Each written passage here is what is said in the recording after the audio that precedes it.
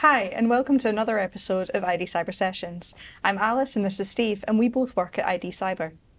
Uh, today we have Gerard Barrett, um, who works, who is a CSOC engineer at National Gas. Welcome. Thank you. um, so, how long have you worked in the cybersecurity industry? Just over two years. Um, time has flown. Um, started there towards the end of the pandemic. Yeah, it's moved along nicely. And you've had quite an interesting work history. Um, so, because your degree was actually in chemistry, and then you worked um, in the insurance industry, um, specialising for several years in fraud investigation, and then you moved to cyber. So, what is it that has driven you to move around industries? Um, well, the move from chemistry into insurance was was money. Um, I moved to the UK uh, 2008 um, and essentially was looking for work in the chemistry area. Couldn't find it and literally got to the point where I was going to job for going, I really need a job. And then someone looked at me and went, Hey, do you want an interview? And they ended up starting working in an insurance company um, about a month or so later. Literally just, hey, you want a job? uh, pretty much, yeah. Um, the, yeah, uh, he wasn't quite as nice as that when he was saying it, but uh, yeah, he did literally go, hey, you've got a suit on, come, talk to me. right, right, okay. Um, and yeah, I started doing, I did calls, it was a contact center, so did customer services for them, and then that kind of turned into an admin role. And then someone from the fraud department tapped me up to go, hey, you keep sending us all these good documents that turn out to be fake. Do you want to do it on a more regular basis? Um, there's a job coming up, and then I applied for it and ended up doing that for just shy of eight years. Um, just yeah, um, so looking from the more motor insurance and home insurance side of things. Um, and yeah, it was it was interesting. And then I made a few friends who'd worked in cybersecurity, and they were like, "You should really come and do it with us." Um, so was that the first time you'd really thought about cyber as a career? Was when it was yeah, your network yeah. case kind of going, "Here's an option." Yeah, um, I dealt a lot with victims of fraud. Um, so ended up meeting someone who was big into victims and raising awareness, and I started using some of the stuff they were showcasing with the cases I was using with victims to help ease their mind because um, a lot of the insurance cases I dealt with were identity theft. Mm. So you tend to get a lot of people who would phone up and say, "Hey, I've got this letter from you. I have no idea what this is about," mm. and then you obviously need to deal with that side of things for them. So that was actually a big part of what I used to have to do. Um, so the more I could learn about it, the better. So then ended up crossing paths um, and starting to look into take uh, Tell Two and Take Five, um, which are programs that were being run of you know, tell two people about a fraud case that would then allow them to, you know, keep people safe. And take five is the whole thing of, you know, tell people don't panic when you see something worrying because that's what scammers are looking for. They want mm. you to mm. panic. Yeah. So it was those kind of ways. Yeah, so, yeah. Just take five. And uh, just from there, yeah, made a couple of friends in cybersecurity and yeah, they were keen to get me to make the crossover. So eventually did.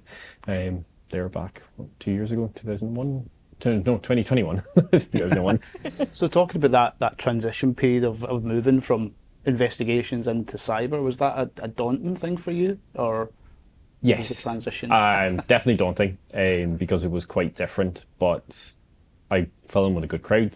Um, they were happy to teach me. I you could cross skill quite a lot with the investigation stuff. Mm-hmm. So I started out as SOC analyst. Um, so you're doing investigations there anyway. So I kind of fell into that of a okay, I know how to investigate, I know how to tackle a problem. Let's just see how I can apply it, and then put my hands up, going, I have no idea what this thing is. Can someone explain this one to me? Um, just where you get stuck, and yeah, there was a good team there to to kind of teach as we went, but yeah, a lot of the investigation stuff was the same thing. You just had something to investigate, you pulled it apart, you worked out whether it was malicious or not, and then moved on from there. So yeah, it was there was a quite a bit of crossover, which was nice. Yeah, made things a little bit easier to to move to, to move over. Although you didn't actually have a very, it wasn't a very fluid move either, because you had all that really bad luck with with COVID. Yeah, I uh, yeah. So I decided I, want, I wanted to move out for the ins- out of the insurance side of things that I was doing. So what I did was I quit um, my job. Um, and I finished on the 6th of March 2021. Uh, 2020. 2020. Oh, yeah, yeah. it was 2020. yeah. Um, and yeah, two weeks later, uh, we all so then so I got what is um, you know I was really lucky from one side that I got an entire year before moving into cybersecurity, and I was at home. Um, I have a young kid and got to spend a year that I probably wouldn't have ever seen if I was still working. Um, and then yeah, once the cybersecurity thing came in, working from home was there. That was an option. It was great.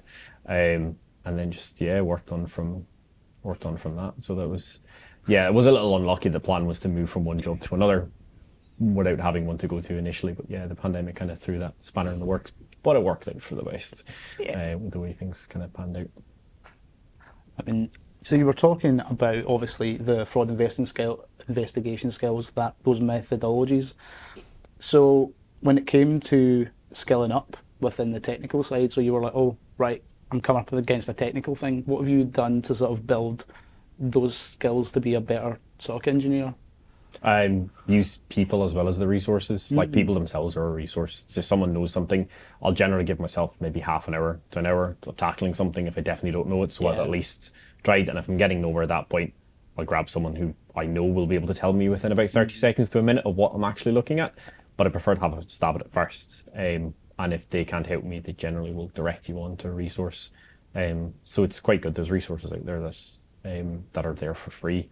It's just working out what's um, you use the people to then decide. Hey, I've seen a course that's offering this. Do you think it's worthwhile? Have you heard anything about them? You you play off that to kind of go right. They know more what they're looking at, so let's use them to judge what you should pick up as your as your next course to, to pick up and go through. There's lots of good documentation out there um, for the pro- the companies themselves, as well as good few YouTube videos and training and things like that. So You've done a- quite a few CTFs as well, which I know, again, like you've worked in teams for those, which is very much that kind of people angle again. Um, did you find Yeah. the CTFs particularly helpful, or the CTFs are good. Um, definitely, like done a lot of the Trace Labs things um, for missing persons because did a lot of OSINT work for when I was doing the insurance stuff, so that kind of helped move through the more technical CTFs. So I was quite glad to have more technical people with me uh, for the CTFs. But that is essentially before I even started working in cybersecurity. I ended up running a CTF server on Discord that people had joined to then enter as teams for CTFs and just kind of learned from there and kind of people bounced off each other. So it was it was good. Yeah, no, definitely recommend CTFs for for kind of getting in, having a having a go.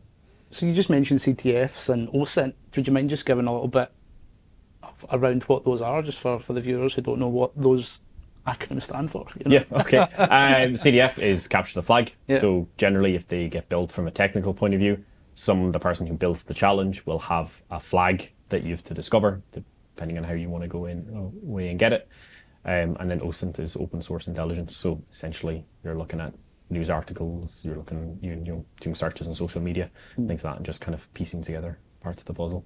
Um, and a CTF as well? It, the challenge very much just depends on who wrote it. So you, it's so broad, all the different skills that you have to, yeah, to have to actually solve one. Yeah, and a lot of them because they want to track so many different people in, they will have so many different topics that they can they can go on. You'll have ones that will be JavaScript, you'll have others that will be stenography, you'll have others then that will be, you know, a photo, tell me where I was, or um, you know, here's a picture of a train station, tell me the next train that's due at the station, giving this is the time of the day. Uh, you have to kind of work all those things out. So yeah, it's, they can be quite varied. They're quite good, quite good fun, and yeah, you do work with people a lot with them because you try and have a team that has a big, broad spectrum Yeah. um, of of a skill set that they can bring and go, hey, you know, there'll always be a volunteer who'll volunteer to to go for a particular topic, be it JavaScript or the OSINT or whatnot.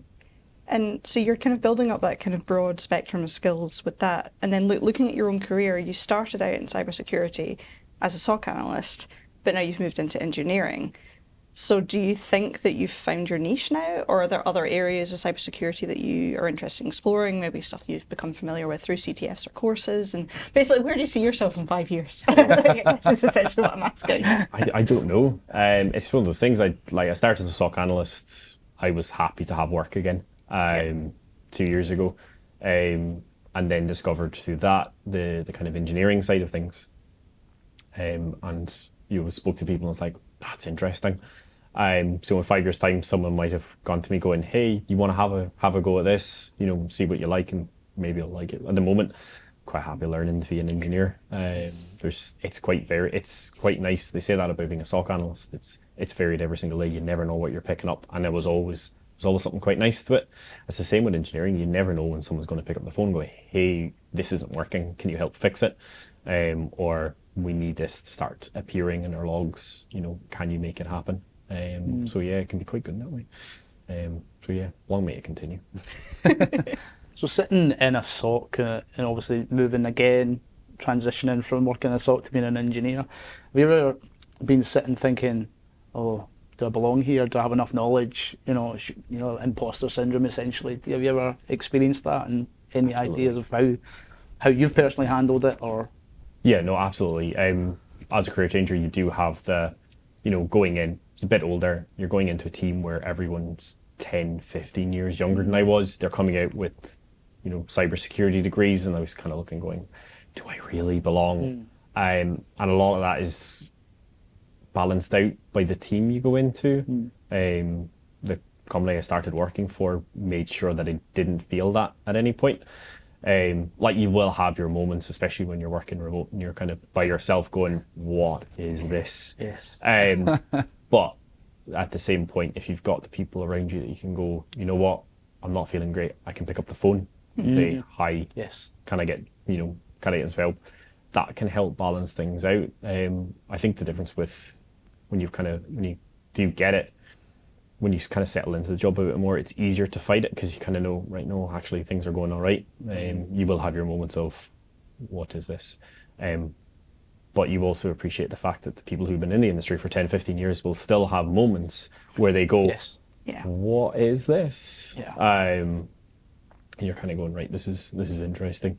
Um, and yeah, it's. But I think as well from a career change, some career changes will probably feel less like an imposter because they've chosen to move career into it, as opposed to Yes. you feel a little bit like I've stumbled in.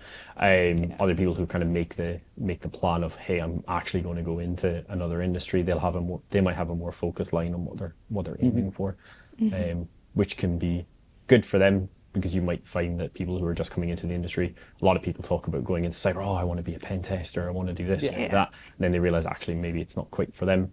Um, where someone for career changer might already have an idea what path they want to go down. Um, but for me, I stumbled in, um, and they seem happy to have me, so I'll, stay for as long as they'll have me. So, do you have any kind of particular advice for anyone who is thinking about changing industry? Um, the most important thing from my side that I've discovered is the community. Um, interacting with other people. Um, I can literally say that I found the the company that I ended up working for in cybersecurity while drinking on Friday nights on Zoom. Um, it was it, it was a community event that people had organised. I got invited along. I got to meet people. Um, got to go to conferences. Got to help out with them, and just learning what what the industry is like. Um, and that goes a long way because the industry so sounds so big, but it's actually quite small. You'll meet people. You know, if you get along, they if they hear of a job that's coming up, you'll hear about it, um, and things get pa- passed around a lot. Um, and also the, the kind of the opposite side of it, if you don't get along and you go for a job, chances are they might be tapped up to go, hey, what do you know about this person? Um, so it's it's just important to get involved and get stuck in. You'll learn so much as well, especially helping out. And I think one of my first conferences that I was involved in, I ended up being one of the admins for it, despite the fact that I didn't have a cybersecurity background. I just sat remotely and just helping out, getting speakers in and out of the, the different rooms, um, and just discovering from there and just getting stuck in. And people appreciate that.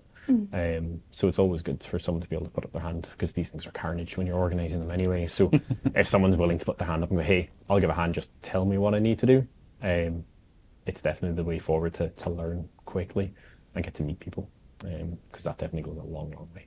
I would say as well, like that actually ties in really nicely to a conversation I was having with a friend the other day where we were discussing the differences between cybersecurity and IT. And I think like we kind of thought that one of the angles was really that cybersecurity is a people industry because it's about securing the people and it's it's it's much more kind of focused in that way. So I think the community angle really kind of feeds into that. Yeah, no, cybersecurity is definitely a, a people thing. They always talk about cybersecurity people being the ones who will, they're the people who say no when you want to get something done. They don't actually want to be the ones who say no. You should really be going and go, hey, can we do it a different way? Yeah. Um, I think times are definitely changing because it used to be the way of, you know, it's a no when you ask for something. Um, whereas, yeah, as cultures have changed, you know, we do things a lot differently. We're far more digitally connected. That we're kind of going, you know, there'll be another way. Let's find the safest way to go and do it. Yeah. Um, but that tends to take a lot of peopling, um, where you're negotiating of uh, not quite what you wanted, but we'll get you there in the end. Um, just making sure, because the focus is obviously to keep people safe. Okay, so um, part of ID Cyber Session, we always ask uh, who we're interviewing about if there's something that you would recommend to the community, whether it be a podcast or it could even be an influential person or you know something you follow that's that's helped you in your career or your transition, I suppose, into cybersecurity. Um, rather than recommending particular people, find your local conference. Um, find something and go along to it. Wherever there'll be places out there, a quick search on Google will find you the nearest thing to go to, um, and you'll find an event that you'll get to, to get to meet people, um, start to interact with communities. You'll start to learn about what resources are doing discounts and things like that.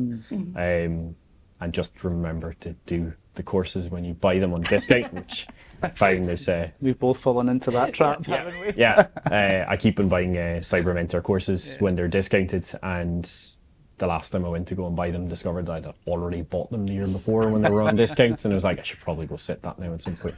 Um, but yeah, it's no, it's it's about the the best resources, the locals. Um, go to the events, see what people are like, see what people are doing, because they will be your they'll be your anchor for when you're when you're kind of learning and starting out, um, especially if you're able to meet in person um, at events. So yeah, definitely say find your local event.